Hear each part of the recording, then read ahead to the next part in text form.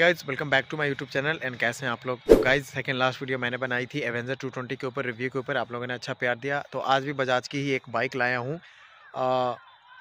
India में ना Splendor के बाद आई गेस सबसे ज़्यादा बिकने वाली आ, बाइक ये है जो मैं दिखाऊँगा। तो ज़्यादा देर न करते हुए हम शुरू करते हैं अपने वीडियो को। और पसंद आए तो कमेंट कीजिएगा लाइक भी कर दीजिएगा वीडियो को इसे। ओके दोस्तों तो ये है वो बाइक आपने देख लिया सामने से और पहचान गए होगे। तो look at this Bajaj Pulsar 150 2022 model and guys ये देखो पल्सर इंडिया में आई गेस सबसे ज़्यादा बजाज में जिसको प्यार मिला है ना, वो है पल्सर पल्सर 150 को। 150 मतलब सबसे ज़्यादा स्प्लेंडर भी किया है, जैसा कि मैंने बताया। उसके बाद हीरो की तरफ़ से स्प्लेंडर और बजाज की तरफ़ से पल्सर ये बाइक आप माइलेज ले लो कंफर्ट ले लो लुक ले लो ये सब चीज़ में ना टेन आउट ऑफ़ टेन जाती है ये। तो शुरू करते हैं। ये वीडियो ओनरशिप वीडियो रहेगी। मैं सबसे पहले दिखा दूँ कि बाइक चली कितनी है। अच्छा ये ऑन ही थी। मैं फिर से ऑफ़ ऑन करके दिखा देता हूँ। तो गाइज़ बाइक चली है सोलह हज़ार एक सौ तिरानवे किलोमीटर। बाइक चल चुकी है guys and to be honest बहुत अच्छा चली है अभी तक। कोई इशू नहीं हुआ है। एंड uh, मैंने भी चलाया है इसे। तो थोड़ा बहुत लुक की बात कर लेते हैं तो लुक पल्सर का तो फ़ेमस है ही। आई मीन आई कैची हर कुछ है। एंड ये प्योर ब्लैक कलर में है क्लॉसी ब्लैक में। और ये है सिंगल सीट के साथ स्प्लिट सीट आ, एक और वेरिएंट है डिबल चैनल एवीएस वाला। इसमें स्प्लिट सीट आती है ये सिंगल सीट के साथ आती है। तो आप साइड से देख दो वही बेसिक सा अपना 150 का लोगो ग्रैबरिल एंड ये साड़ी गार्ड और ये बैक फेंडर तो इसमें डिवल सस्पेंसन है मतलब लेफ़्ट राइट दोनों जो कन्वेंशनल है, वो चीज़ आती है इसमें। और ये फूट रेस्ट ये भी फोल्डेबल ये फोल्डेबल है सेमी फोल्डेबल है फोल्डेबल है, ये देख सकते हो सेमी फोल्ड कर सकते हैं इसको। एंड गियर लीवर जो कि सिंगल टो गियर लीवर नहीं है मतलब दोनों है। चप्पल पहन के भी आप चलाओगे, दिक्कत नहीं होगी। और नीचे से ब्लैक सा इंजन काउल, ठीक है? और ट्विन हॉर्न, एक तो एक्स्ट्रा लगाया है। और suspension setup and reflector side में। एंड ये छोटे छोटे इसमें पार्किंग लाइट्स लगी हुई है। एंड एक इसमें आता है ना, ये हेलोजन है, बट बहुत अच्छा काम करती है ये रात में। और यहाँ पे स्क्रीन पे बजाज का लोगो। ओके? टायर तो अभी गाड़ी बहुत कम चली है तो टायर कंडीशन तो माशाल्लाह है, बहुत अच्छी है। और ABS ring disc brake and ABS sensor wire और इस तरफ़ भी। टंकी पहले ना, टंकी पे वो नहीं आता था, ये जो श्राउट्स होते हैं, इसको हम श्राउट कहते हैं।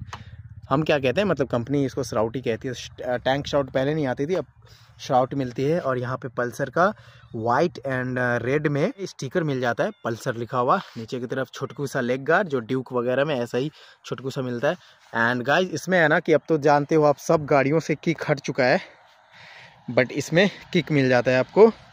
And one fifty fifty C का।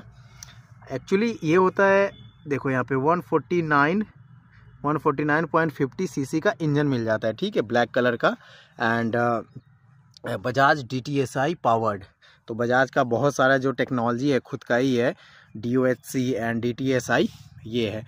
और इधर भी एक ब्रेक लीवर और साइलेंसर जो कि कन्वेंशनल है बट बहुत खूबसूरत लगता है देखने में पर्सनल एंड ये भी एक, ये समझो तो ए के तरह है, ये भी उसी टाइप का रिंग है ये आपको ब्रेक व्हील जाम होने से आपको बचाती है। ऊपर की तरफ़ ब्लिंकर है, जो कि नॉर्मल सा, बेसिक सा ब्लिंकर है। एलईडी नहीं मिलता और पीछे से एलईडी बैकलाइट, ओके? और सीट की, सीट के गद्दे की बात करें तो देखो, धंस रहा है ये। बढ़िया सा है, सीट का गद्दा। एंड अभी मीटर में दिखा दूँ तो मीटर में नो डाउट बहुत इन्फॉर्मेशन रहता है।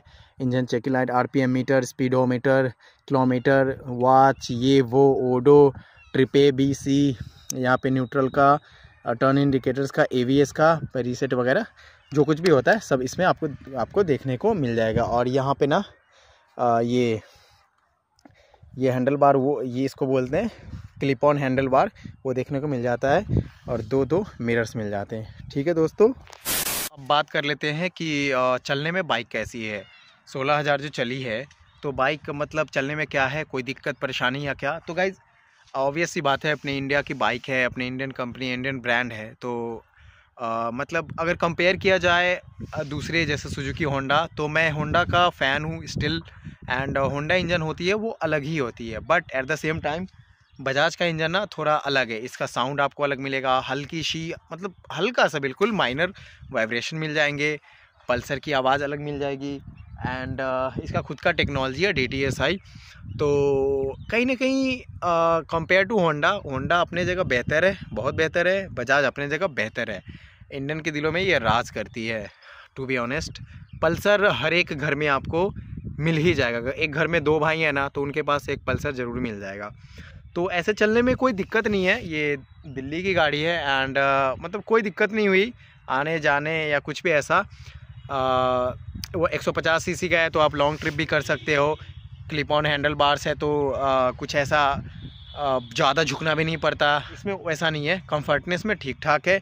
और सबसे पहले जो बात करनी चाहिए थी मुझे वो है माइलेज तो माइलेज माशाल्लाह इसका एक पचास टूटता नहीं है पचास देता है यार। एंड ब्रेकिंग uh, की बात करें तो ब्रेकिंग भी ठीक ठाक है सस्पेंसन की बात करें तो टेलीस्कोपी के आगे और पीछे जो बेसिक सा आता है वो है ठीक ठाक है। बहुत लोगों के मुँह से मैंने सुना है कि पल्सर में ना हीटिंग इशू है तो डोंट नो वो क्यों कहते हैं मे बी उनका हीटिंग इशू आता होगा बट मेरे पल्सर में ना ऐसा कभी हुआ नहीं कि हीटिंग इशू हो या इंजन बहुत गर्म हो गई हो ऐसा मुझे नहीं लगा।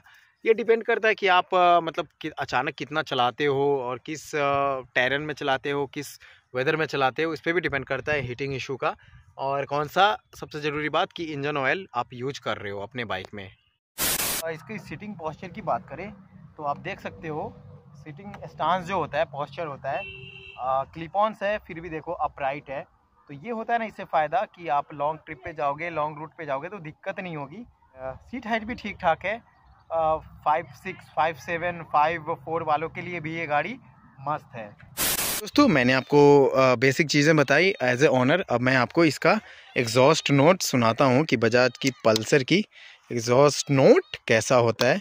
ओके एफ़ आई ऑन ये देखो।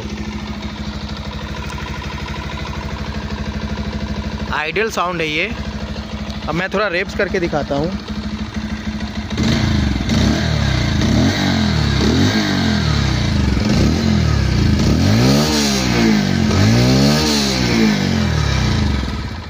देखा दोस्तों, मैंने बहुत बाइक यूज़ किया है, बहुत कंपनी का यूज़ किया है बट ये बजाज का ना, ये खुद का साउंड है। आई डोंट नो उन्होंने कैसे इसे मॉडिफाई किया होगा, इस साउंड को। प्यारा साउंड है। ठीक ठाक लगता है, थोड़ा बेस है। साउंड में ना थोड़ा बेस है तो मुझे भी पर्सनली बेसी साउंड अच्छा लगता है थोड़ा।